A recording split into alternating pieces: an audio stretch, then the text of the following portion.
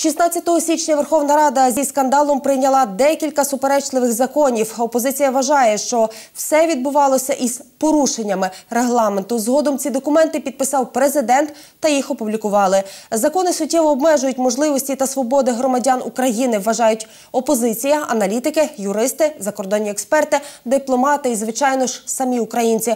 Ми попросили фахівця прокоментувати закони де юре та як з ними жити де факто.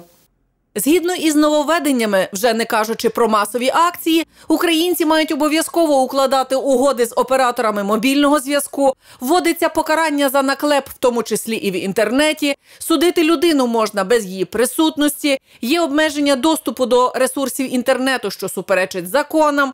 Вводяться іменні квитки на футбольні матчі та ще багато іншого.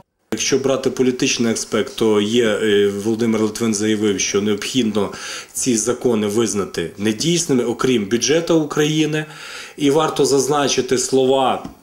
Верховного комісара ООН з прав людини Наві Піле, яка зазначила, що ці закони суттєво порушують права людини на е, мирні зібрання, на висловлення своєї думки. І є низка міжнародних законів, якщо згідно згідно закону України, якщо норми національного законодавства супереч, суперечать нормам міжнародного права, то береться до уваги положення саме міжнародного права.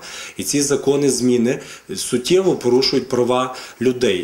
Серед нововведень був прийнятий закон про внесення змін до Кримінального процесуального кодексу України щодо заочного кримінального провадження. Це надає можливість розглядати справи за відсутності підсудних та їхніх адвокатів.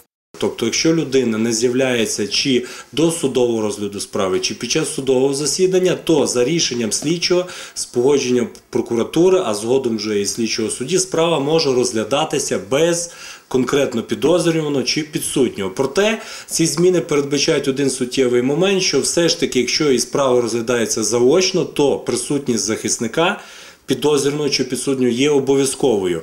Хоча до цього моменту, якщо навіть е, підсудній був оголошений в розшук, то провадження, кримінальне провадження зупинялося. Зараз на даний період часу, якщо особа чи знаходиться за межами України, чи з будь-яких інших причин суд вважає, що справу можна розглядати за без участі людини, то людину. е, Визначають міру покарання без людини, людина втрачає основний принцип принцип захисту.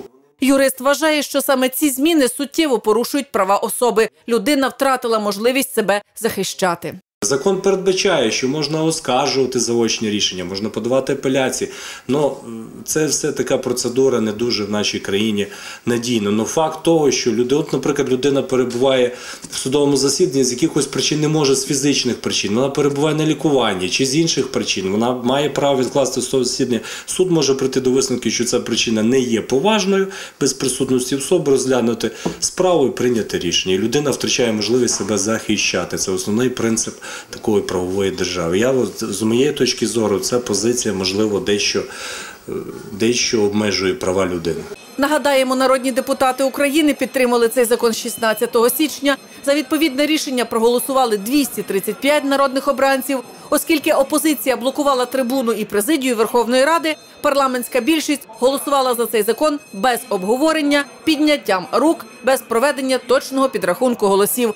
Президент України підписав цей закон вже наступного дня, 17 січня. Загалом того дня народні депутати з провладних фракцій підняттям рук без обговорення ухвалили 11 законів та одну постанову. Опозиція вже назвала голосування в Раді державним переворотом.